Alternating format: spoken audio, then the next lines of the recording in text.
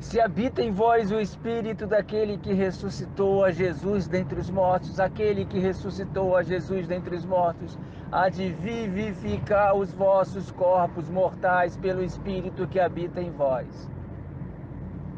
Aí, como os teólogos, os teólogos famosíssimos leem isso aí, no literal, que quando você morrer, meu irmão, você vai receber um corpo glorificado. É assim que os teólogos praticamente todos os teólogos experts leem. Não é assim que leem Romanos 8? Vivificar o corpo mortal é você morrer e na outra vida você ter um corpo espiritual, um corpo. É assim, mas não é assim. Simplesmente não é assim. Deus não nos deu a prostituição. Sabe como os teólogos leem isso aí? Sexo. Sexo não, não deu o seu corpo a uma prostituta, uma coisa assim. Sexo, leia como sexo. Os teólogos leem, os famosos, os mais famosos do Brasil leem que tem sexo aí. Eu fiquei sabendo que há entre vós um que esteja abusando da mulher do pai. Sabe como os teólogos leem isso aí? O cara comeu a madrasta. É assim que os teólogos leem. A entrega é Satanás é excluir o cara da igreja. É assim que os teólogos leem. Obras da carne e prostituição, eles leem sexo. Os teólogos do Brasil leem embriaguez como cachaça, obra da carne. Glutonaria como comida. É assim que os teólogos leem. Não é assim, eu psicanalizando, que você lê também? Hein? Diga aí pra gente. Expert. É interessante esse versículo. E para que não me ensoberbecesse com a grandeza das revelações, vírgula, foi-me posto um espinho na carne, mensageiro de Satanás, para me esbofetear, a fim de que não me exalte. Se eu ler assim, parece que o espinho na carne foi dado porque é, pelas grandezas das revelações. É que todo mundo entende que talvez seja isso, mas eu creio que não. Porque ele teve revelações de Deus, aí ele se engrandeceu, né? Aí foi posto o espinho na carne para ele não se engrandecer, o quê? Com as revelações, é o que fala aqui, né? Mas se a gente mudar a vírgula, ficaria assim: e para que não me ensoberbecesse, vírgula, com as grandezas das revelações foi-me dado o espinho na carne. A grandeza da revelação era o espinho na carne e não o espinho na carne, para que ele não se ensoberbecesse pela grandeza das revelações. É só mudar uma vírgula que o sentido fica exatamente como a gente está falando, que o espinho na carne seria a mensagem do Evangelho, dada ao apóstolo Paulo. É um espinho na carnalidade humana, é o que destrói a carne, é o que crucifica a carne, o Evangelho uma vírgulazinha mudada, o sentido todo, é igual aquele versículo que fala: Eu te digo hoje, estarás comigo no paraíso. Algumas pessoas leem assim, põe a vírgula aí. E outras diz, dizem assim: E te digo que hoje mesmo estarás comigo no paraíso. Muda todo o sentido. Uma vírgula muda todo o sentido. Agora eu creio que aqui possa ser. Eu leio no grego, o grego está mais ou menos assim. É como a gente fala. O texto grego, né? E para que não me ensoberbecesse, com a grandeza das revelações foi-me dado um espinho na carne. Muda o sentido. Completamente muda o sentido. É, porque ficaria assim. E para que não me ensoberbecesse, com a grandeza dessas revelações foi-me posto um espinho na carne. Quer dizer, é quem trouxe o espinho na carne foi, foram as revelações que crucificavam a, a, a meritocracia nele. Tanto é que no contexto ali ele fala, eu me glorio no Senhor. O contexto é esse. E ele não está falando de glória humana, é, é se vangloriar diante de Deus. E quem é legalista se vangloria diante de Deus, porque tem que fazer alguma coisa. E o contexto é esse que ele fala. É exatamente esse. Aí o espinho, a minha graça te basta, a minha graça te basta, a minha graça te basta é o quê? A mensagem do evangelho trazida que crucifica a carne. E quem crucifica a carne? O espinho, que é a estaca. E quem seria a estaca que crucifica a carne de um legalista? O Evangelho. Porque o Evangelho fala do mérito de Cristo, o legalista fala que tem que fazer alguma coisa, o Evangelho fala que já está feito, o legalista fala que ainda tem que fazer, o Evangelho fala que já foi feito. Então, se você fala é para uma pessoa que está endividada e a pessoa fala para você que você o, o preço já foi pago da sua dívida, ele mata aquela ideia de ter que pagar a dívida com a mensagem que, de que a dívida já foi paga. Então essa mensagem crucifica a outra mensagem que, que você tinha na cabeça de endividamento. Agora você não tem mais porque você crucificou essa mensagem. É porque fica essa discussão, o que, que era o espinho na carne do apóstolo Paulo, uma doença. Aí cada um chuta uma doença. É não, porque o apóstolo Paulo é, ele era perseguido pelo latoeiro. O que, que tem a ver o latoeiro perseguindo o apóstolo Paulo, ou o latoeiro não, alguém perseguindo, com a vanglória dele? Porra, nada. Aí o pessoal ainda fala na internet, pelo menos eles confessam, né? Não, é um entendimento é muito conturbado, ninguém tem certeza exatamente. Claro que não vai ter certeza. A leitura é feita errado. Como vai ter certeza? É aquela história, né? Você fala que tá com dor de cabeça para mim, eu falo, Jordão, a graça de Cristo te basta. O que, tem a ver uma coisa com a outra, com a dor de cabeça? Bom, é quando a pessoa não entende o que é graça, sim. Mas quando a pessoa entende o que é graça, não tem sentido nenhum, pô. Você está endividado e você está sendo perseguido por assaltantes. Eu falo, Jordão, a graça de Deus te basta. Por que, que tem a ver isso? Nada. Agora vem o, o, o focalizando aí, aí sim a gente tem sentido falar para focalizando que a graça de Deus te basta. O, o focalizando, sei lá o que. Né? Aí tem sentido a gente falar para ele que a graça de Deus basta. E, e quando a gente fala para ele isso, nós estamos sendo. A, a mensagem que a gente traz é um espinho na carne dele. Então, exatamente o que estava acontecendo com o apóstolo Paulo ali o espinho na carne. Nós, por exemplo, tem um legalista igual focalizando aí, o Cadu. A gente agiu como espetando ele. Onde a gente espetou? A carnalidade dele, a meritocracia. Porque a gente só falou o dia inteiro aqui do mérito de Cristo. E a carne é o mérito do homem tentando se chegar a Deus. Então a gente atacou, crucificou, pregou o Evangelho. No literal também se encaixa perfeitamente. Pregar o Evangelho.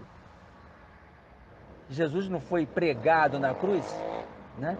Então, pregar o Evangelho, quando você crucifica a carne levando para o literal, você está pregando o prego na carne na cruz. Por isso que ele fala ali: pegue a sua cruz e siga-me. Ou seja, a gente para seguir a Jesus tem que morrer primeiro, crucificar a carne. Né? Primeiro morre e depois segue. Então é como se estivesse carregando a cruz. Se a gente crucificou a carne, crucificamos simbolicamente numa cruz. Então a gente pega a cruz e segue ele. E só pode seguir ele quem crucifica a carne, quem morre. Olha que coisa incrível, né? Você precisa morrer na cruz para seguir Jesus. Como é que pode isso? É, o apóstolo Paulo reputou tudo como esterco, né? O que ele tinha aprendido para se chegar a Deus pela lei. Só que ele era um hiper, hiper fariseu, zeloso do zeloso da lei. Então a gente percebe quando a gente fala do evangelho, a primeira coisa que o cara faz é refutar. Então o apóstolo Paulo deve ter sofrido muito para largar o legalismo. Você vê que as pessoas sofrem, né? É por isso que usa o termo crucificar a carne. Então, quando a pessoa quer um mães, a gente fala, ué, já foi pago o preço. É aquele cliente meu, vou repetir, o cara, eu falei para ele que o preço foi pago. Ele falou que aquilo ficou martelando na cabeça dele. Na cabeça dele não, na linha de raciocínio dele legalista. Ficou martelando o que ele falou. Ele falou, porra, René, aquilo que você falou para mim preço foi pago, ficou martelando na minha cabeça, ou seja, aquilo ficou me crucificando. E a mensagem do Evangelho é exatamente essa, que o preço já foi pago. Com isso aí você liquida. O amor lança fora o medo. Por que o amor lança fora o medo? Porque o amor, que é o Evangelho, lança fora o medo, porque já fala que você está quite com Deus, você não tem dívida. Então, se você tinha medo, o medo é crucificado. Se você tinha que fazer alguma coisa, fazer alguma coisa é crucificado. E quem faz isso? A mensagem. Como crerão se não há quem pregue? O que, que acontecia ali em Romanos 10? Por eles não conhecerem a justiça de Deus, procuram estabelecer a sua própria justiça. E procurar estabelecer a sua própria justiça está na carne. É, fica até uma coisa bonita, né? Eu estava pensando agora que está chegando em casa dirigindo, que por causa da minha. Para que eu não me vangloriasse, vírgula, pela excelência das revelações, foi-me dado, enviado, a mensagem opositora que eu tinha. Eu roguei a Deus por três vezes que me tirasse isso. E a voz me, e a mensagem me esbofeteava a minha carnalidade. Eu vou ver se faço um texto aqui em português atualizado desse texto. E a voz falava: A minha graça te basta, a minha graça te basta. Eu fico imaginando: A minha graça te basta é exatamente uma bofetada na carnalidade humana, né? É exatamente isso, cara. Aí o pessoal fica achando que foi o latoeiro, o latoeiro estava perseguindo o apóstolo Paulo. Aí o apóstolo Paulo reclamando, não, ele estava reclamando era o, o, anos e anos e anos de legalismo. Não é fácil não, hein? A gente percebe isso claramente quando fala para um legalista, como que ele fica desesperado querendo combater, né? Imagine o apóstolo Paulo, era dez vezes pior. Pega o maior legalista que a gente já conheceu. O apóstolo Paulo era dez vezes maior, pior, no sentido antes de conhecer a graça, né? deve ter lutado muito contra o entendimento. Você vê que o contexto ali, o apóstolo Paulo vem dando bronca em Pedro, que Pedro estava trazendo obras, sacrifícios, carne. Aí ele dá aquele esporro todo em Pedro. Se vamos reconstruir o que foi destruído, nos tornamos transgressores. Pela lei morri para a lei. Ele está falando só de entendimento ali, no fato, do entendimento do fato. Que Pedro não tinha entendido direito, que foi de graça. E ele vem falando o tempo todo. Os que estão em Cristo crucificaram a carne. Ele está falando de entendimento. Crucificar a carne é no entendimento. Os que estão em Cristo, na dependência de Cristo, crucificaram a carne, os seus próprios méritos, esforços. E ele fala isso em Gálatas 3,3. Vocês começaram pelo Espírito e terminaram na carne. Então, ele não iria colocar carne ali no sentido de corpo. Não tem como ele colocar carne. Porque o assunto não é esse. E o que, que tem a ver a vida que eu vivo do meu corpo com o assunto ali de entendimento? O que, que tem a ver o corpo físico com crucificar a carne? Isso que estou querendo dizer que não. O contexto todo não fala de, de literalidade, fala de entendimento. Mas amanhã a gente tenta falar mais sobre isso. Eu sei, mas quando coloca as duas coisas juntas no, no entendimento literal e vertical, fica complicado. O apóstolo Paulo não tem esse feitinho de colocar as duas coisas ao mesmo tempo. Senão complica, a pessoa se enrola toda. Já estou crucificado com Cristo, seria eu, eu me neguei a mim mesmo, os meus méritos. Aí a vida que eu vivo na carne, aí ele usa carne já aí, né? Ele poderia ter usado corpo e não carne. A vida que eu vivo na carne, eu vivo pela fé do Filho. Fé do Filho é a obra dele. O que, que tem a ver a car o corpo físico com a, a, a obra dele? A obra dele não veio salvar o meu corpo físico. Entende? Sim, mas parece que ele não, não se encaixa o literal aí. É como se ele estivesse falando assim: é, eu estou crucificado com Cristo eu morri, eu estou crucificado, por exemplo, eu, a minha carne está crucificada. E a vida que eu vivo nessa carne, eu vivo por ele, não por mim. Mais ou menos isso, porque ele, ele parece estar falando de entendimento, ele não está falando de vida física aí. Parece isso. Ele não está falando de vida física. Eu fui crucificado com Cristo. Tipo, é como se ele estivesse falando. Eu não tenho mérito nenhum. E a vida que eu vivo, é, com, essa parte aí fica meio complicada. É como se ele estivesse falando. O meu esforço é pelo que Cristo fez, é pelo esforço dele, não pelo meu. É quem ele fala ali em Filipenses 3:3. Eu adoro a Deus pelo Espírito de Deus, me vanglorio em Cristo e não confio em nada na carne. E aí, ele não está falando de a vida que eu vivo no corpo. Tem tradução que fala no corpo, só que o corpo aí físico não tem nada a ver com ser crucificado com Cristo, entende? Entende?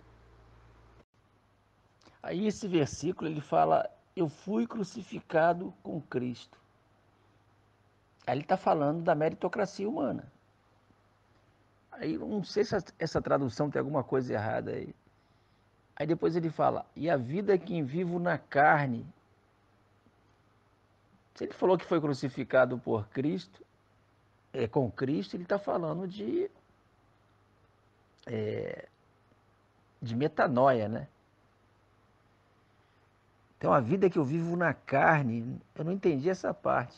Carne aí é sarx, deve estar tá falando de empoderamento humano, de mérito humano, de sacrifício do homem. Mas aí ele não está falando de vida literal. Ele está falando de crucificado no entendimento. Eu só sou crucificado ali, fui crucificado com Cristo. Ele está falando de morrer para os seus méritos ali, não está isso? eu não estou conseguindo encaixar esse a, a, vida que eu vivo na carne, essa parte que eu não estou conseguindo encaixar direito. Alguém pode falar alguma coisa? Bom dia, Fabiano. É, a questão é, o apóstolo Paulo, ele quando via os judeus lavando as mãos, ele reclamava? Claro que não. Lavar as mãos é bom. Mas quando ele via os judeus lavando as mãos para se purificar espiritualmente, eles falam, pronto, entrou na carne. A diferença é essa. A gente não fala para o cara de deixar de lavar as mãos. Ele tem que lavar as mãos com o objetivo certo. Não com o objetivo errado. Quando você está no objetivo errado, você entra na carne e você prostitui. Como que eu posso prostituir lavando as mãos? Simples. Se eu for lavar minhas mãos para eu me purificar espiritualmente, eu prostituo, eu adultero. E se eu fizer uma caridade? ajudar um pobre na rua. É bom ajudar? É. Mas se eu ajudo o pobre na rua, é, é tentando agradar a Deus, eu prostituo. Ontem mesmo eu ajudei. Dei 20 reais para um mendigo aqui de rua.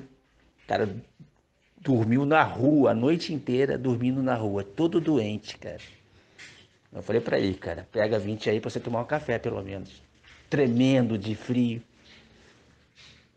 Agora, se eu fizer, isso é bom fazer isso, mas se eu fizesse isso, achando que Deus ia me fazer alguma coisa por mim porque eu fiz isso, aí eu estava prostituindo. Eu estava prostituindo, ajudando o mendigo. Olha só que coisa horrível. Esse é o ponto. Essa é a virada de chave. Só que os pastores, eles pregam para você não adulterar, adulterando. Eles pregam para você não prostituir no literal, prostituindo. Eles pregam para você lavar as mãos, prostituindo, que quando você lava as mãos tentando se purificar espiritualmente, você prostitui. Se eles pregassem para você não prostituir, porque é errado não prostituir, seria ótimo. Agora eles pregam para você que para você não prostituir no literal, para não ir para o inferno. Aí eles prostituem. Então eles pregam, porque eles pregam para você não prostituir, eles pregam a prostituição. Porque eles pregam para você não roubar, eles pregam o roubo. E aí? É, exatamente. A gente tem que evitar, claro, que roubar, matar, adulterar, prostituir. A gente tem que evitar nesse corpo físico, que não é bom. Agora, a gente, em primeira instância, tem que evitar roubar, matar e adulterar e prostituir no entendimento espiritual. Porque se alguém transgride a lei de Moisés, seria punido. Muito mais seria, seria merecedor aquele que pisa o Filho de Deus. Então a gente primeiro tem que evitar pisar o Filho de Deus, né? Óbvio. E depois, nesse mundo aqui, a gente tem que procurar não fazer merda, né? Exatamente. É, tem, é, tem várias traduções que colocam a fé no Filho. Tá, mas tá errado essa tradução. Não é a minha fé no filho, né? Ali ele fala a vida que eu vivo agora, eu vivo pela fé do filho. Ou seja, não tem mais o meu trabalho, é o trabalho dele. Então a tradução da fé no filho está errado. Ali ele está falando exatamente sobre a, a, o entendimento da justificação. E a justificação foi pela fé do filho, pela obra dele. Ele está falando de carne ali, de sacrifício. Eu não vivo mais pelo meu sacrifício, eu vivo pelo sacrifício do filho. É exatamente, Romero. Eu posso falar, eu ajudei um mendigo. Eu tenho que me vangloriar, até eu posso. Mas não diante de Deus. O problema é quando você se vangloria diante de Deus. Agora, eu posso me vangloriar? Pô, até posso, pô, ajudei o cara. Legal. Mas não diante de Deus. O problema é que os pastores pregam que você tem que se vangloriar diante de Deus. Esse é o problema. Os pastores pregam a carne. Esse é o problema. A carne humana, né, claro. E, e o evangelho prega a carne de Cristo. É, exatamente. Se você pega um, um, negro hoje, falando que tem que comprar a carta de alforria e que se acha escravo ainda, o que, que vai estar acontecendo? O, o que, que se manifesta? Que ele está pisando na princesa Isabel negando a carta de alforria. É simples assim. Se ele se achar escravo e ainda tendo que pagar, comprar a carta de alforria, ele está negando que a princesa Isabel fez. Isso aí não tem para onde correr. Quando a pessoa se acha pecadora, ela está negando o que Cristo fez, pisando no Filho de Deus. Não tem para onde correr. E a gente pode colocar que praticamente 100% dos crentes negam a Cristo. Os crentes que têm zelo por Deus, têm zelo por Cristo, negam a Cristo. Não, não, a fé, a fé não é fé no sentido que a gente está acostumado. A fé é no sentido do, da obra dele, a fidelidade dele. Você tem quando, quando você lê a fé do filho ou a fé dele, você tem que ler a fidelidade dele. Entendeu? O trabalho dele, o sacrifício dele, a obra dele. É assim que tem que ser lido. Se misturar com fé de crer não tem sentido. Tanto é que a palavra ali em Romanos 3,3, a fé de Deus, em outra tradução está a fidelidade de Deus, ou seja, a obra de Deus. Tem que ser lida assim, a obra de Deus, a obra de Cristo. É assim que teu cérebro tem que ler para entender, senão não vai entender. Entender. É, exatamente, Mário. Para a gente é fácil hoje, que a gente já fala isso há alguns anos já, né? Mas no começo não foi fácil não, né? Mas é o que eu falei para ele, ele tem que fazer a leitura como a fé, a fidelidade. Está muito claro lá em Romanos 5,19. Fomos feitos justos pela obediência de Cristo. A obediência de Cristo é a fidelidade dele, a obra dele, o sacrifício dele. Tem que ler assim, como a obra de Cristo. Aí o cérebro entende, porque a gente está acostumado a ver fé como o um homem crendo, fé. Aí o pessoal pergunta, mas como? Como que Jesus vai ter fé nele mesmo? Só que ali a semântica não é essa. É igual a situação de, de Satanás. Quando você entende o significado da palavra Satanás, você consegue ler corretamente. O cérebro aceita, porque o cérebro ele tem um preconceito, né? Satanás é coisa do ruim, a gente aprende desde, desde pequeno, né? Mas Satanás pode ser uma coisa boa, contanto que ela esteja se opondo a uma coisa ruim. Aí é Satanás da coisa ruim. A polícia é o Satanás do bandido, ele se opõe ao bandido. Aí o cérebro precisa de um tempo para entender isso.